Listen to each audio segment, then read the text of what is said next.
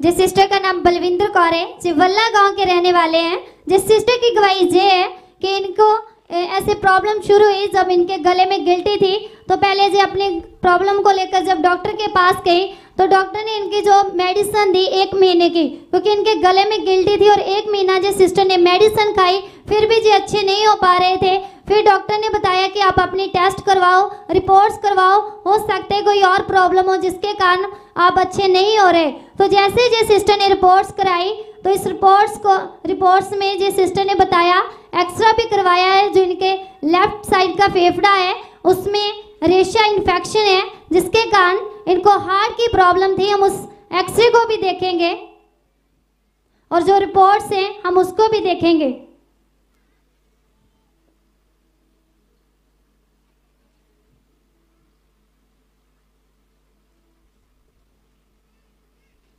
और इन रिपोर्ट्स में जो इनकी हार्ट की प्रॉब्लम थी, वो इस रिपोर्ट्स में और एक्सरे में आई थी।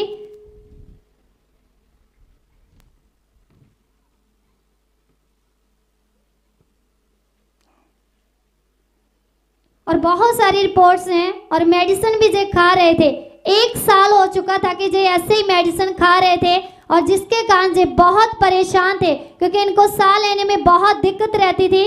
जो बताते कि जब भी जे घर से बाज़ार भी जाते थे तो जो पंप की मदद से जो साह लेते थे, उस पंप को जो बाज़ार लेकर जाते थे और घर में जो बता, बताते कि जब भी जे वॉशरूम बाथरूम में जाते थे तो जो बताते कि जिस सिस्टर को पानी से भी बहुत ज़्यादा डर लगता था, इनको ऐसे लगता था कि जैसे सांस लेने में बहुत ज़्यादा दिक्कत आ रही है, मेरी सांस बंद हो जाएगी। ऐसा इनको बहुत सारी तकलीफ़ में ऐसे जो बहुत सारी तकलीफ़ में रहते थे और जिसके कारण जिस सिस्टर ने बताया कि जो बहुत सारी मेडिसिन तो खा रहे थे, फिर किसी ने प्रभु, इनको गुड न्यूज़ दी जैसे ही संगति में आए और संगति को अटेंड करते रहे और जो बताते कि जैसे जो संगति में बढ़ते गए और पॉजिटिव नेगेटिव प्रेयर को करते रहे तो जो पंप की मदद से जो सांस लेते थे, तीन महीने पहले ही उस पंप को जिस सिस्टर ने छोड़ दिया था और फिर जी ऐसे संगति में बने रहे तो मेडिसिन तो इस सिस्टर की चल रही थी जो साह लेने में प्रॉब्लम थी। और रोज ही जो मेडिसिन लेकर खाकर ही सोते थे। और जी सिस्टर बताते हैं कि जैसे जो संगति में आए और प्रभु के दास ले, एंड प्रार्थना कर रहे थे तो जी सिस्टर के ऊपर भी ले एंड प्रार्थना हुई। आओ हम इस क्लिप को देखते हैं।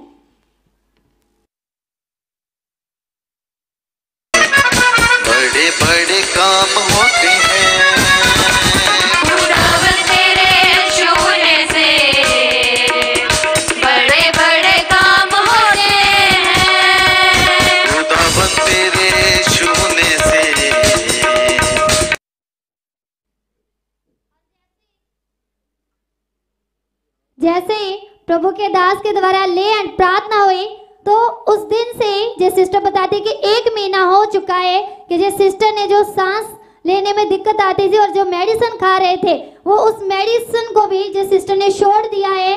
और एक जो एक साल की इस प्रॉब्लम से जो परेशान थे, आज ये सिस्टर उस प्रॉब्लम से टोटली फ्री हो चुके हैं। इस गवाही के लिए जी परमेश्वर का थैंक्स करते हैं। सुनो सुनो सुनो सुनो सुनो। हम्म? ये आपको ये प्रॉब्लम एक साल पहले हुई थी? हम्म? हाँ जी। एक साल पहले हाँ डॉक्टर ने बताया कि पहले आप आप बताया कि अपनी गले के में गिल्टी थी हाँ? हाँ पर उसने उसके बाद आप डॉक्टर को मिले और डॉक्टर ने कहा कि आप क्या कराओ? चेकअप कराओ। चेकअप जब आपने करवाया तो आपकी हार्ट की प्रॉब्लम आई हाँ? जिसमें आपके एक कौन लेफ़्ट लेफ़्ट फेफड़े में। हाँ लेफ़्ट फेफड़े में क्या आ गया? रेशा। रेशा इन्फेक्शन हो गई हाँ?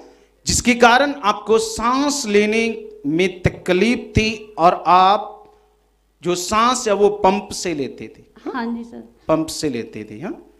कैसे लगता था उस समय आपको? बहुत बुरा हम्म? कि थोड़ा सा भी चलना तो यही सोच के चलना कि साथ में लेकर चलूँ। जब बाज़ार जाते अच्छा- थे बाहर जाते तब भी उसे साथ लेकर जाते थे? हाँ जी। अच्छा मतलब उसके बिना कभी भी ऐसे सांस रुक जाती थी?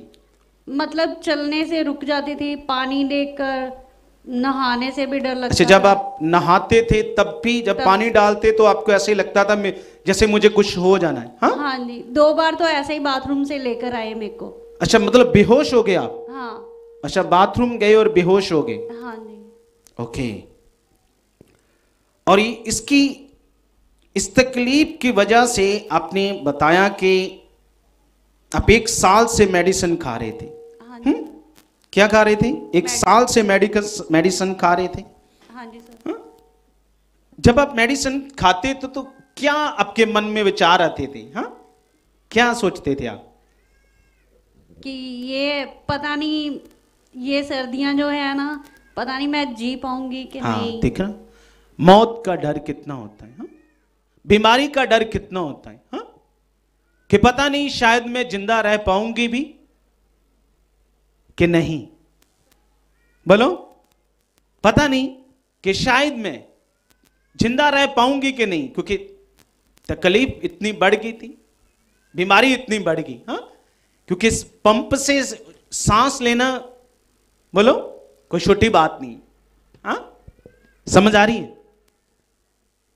और जब आप प्रभु की हजूरी में आए हम्म, अपनी पॉजिटिव बातों को सीखा उसके बाद अपनी रेगुलर मीटिंग को अटेंड करना शुरू किया हाँ रो नहीं रो नहीं कोई बात हाँ नहीं। हाँ। आज तो परमेश्वर आपने आपको बिल्कुल क्या कर दिया हाँ। अब रोने रोना नहीं है। नहीं। अभी तो खुशी से लोगों को बताना है हाँ?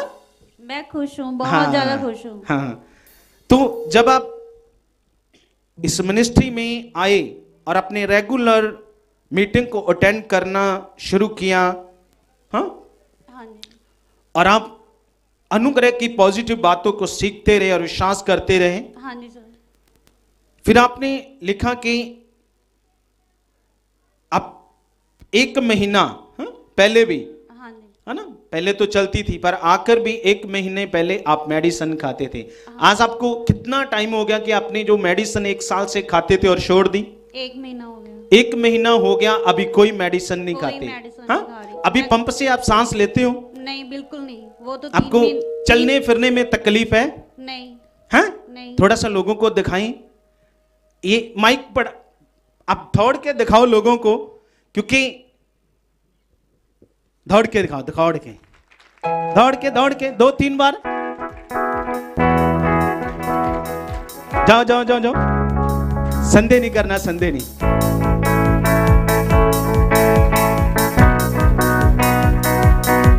हाँ, ओके।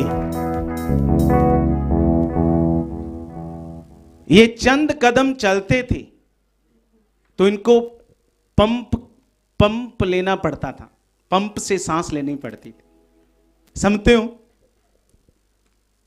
अब किसने फ्री किया है? परमेश्वर ने। हाँ? परमेश्वर ने। परमेश्वर ने? हाँ जी। आपको लग रहा है कि ये थोड़ा दो तीन चक्कर लगाए जो जिसको सांस की प्रॉब्लम है हार्ट की प्रॉब्लम है वो भोलेगा तो उसके अंदर से ऐसी आएगी बात हाँ बोलो बोलो। बोलो। मैं बिल्कुल ठीक हूँ। मैं बहुत ज़्यादा खुश हूँ। इतना ज़्यादा कि मैं बता ही नहीं सकती हूँ। एक बार ज़ोर से ज़ोर से सर्वशक्तिमान परमेश्वर की हम तारीफ़ करें। वो महान है। उसके लिए कोई भी काम कठिन नहीं। आमेन। आमेन। हालेलुया। हालेलुया। समझते हो? परमेश्वर हर एक को फ्री करना चाहता है। हर एक को अच्छा करना चाहता है। हुँ? बोलो क्या है? वो हर एक को क्या करना चाहता है? हर एक को, हर एक मनुष्य को वो जीवन देना चाहता है। इसीलिए उसने अपना जीवन का बलिदान किस पर दिया? क्रूस पर दिया। किया कि नहीं दिया? हाँ? इसीलिए उसने अपने जीवन का बलिदान आपके लिए क्रूस पर दिया। हाँ? पर लोगों को पता नहीं है कि उसने क्रूस पर जो जीवन हमारे लिए दिया, वो क्यों दिया? ये दुख, तकलीफ़, हालात, परेशानियाँ, चिंताएँ, चिंता हम्म? जे कर्ज, जे कलेश, झगड़ा, नशे, हर चीज़, ये क्यों है? समझते हो? इसलिए प्रभु ने कहा, ना, सत्य को जानो, सत्य तुम्हें क्या करेगा? क्या करेगा सत्य तुम्हें? आज़ाद करेगा? जैसे ये क्या हो गई? आज़ाद हो गई। क्या हो गई? आज़ाद हो गई। और परमेश्वर हर एक को क्या करना चाहता है? आज़ाद करना चाहता है। क्या करना चाहता है? हर एक को आज़ाद करना चाहता है। आज कितने लोगों का विश्वास है कि मैं आज़ाद होकर जाऊँगी, जाऊँगा? हाँ? कितने लोगों का विश्वास है? कितने लोगों का विश्वास है कि मैं आज परमेश्वर तेरी हजूरी में से सेम नहीं जाऊँगी? जाऊँगा? है कि नहीं है? पर आज अपनी, उससे पहले अपने मन को फिराना है। क्या करना है? उससे पहले अपने अपने मन को फिराना है। क्या करना है? समझ हो? उसके लिए अपने मन को तैयार करना है। ठीक है? ठीक है? इन सब गवाहियों के लिए हम ज़ोर से परमेश्वर की तारीफ़ करेंगे। ज़ोर से।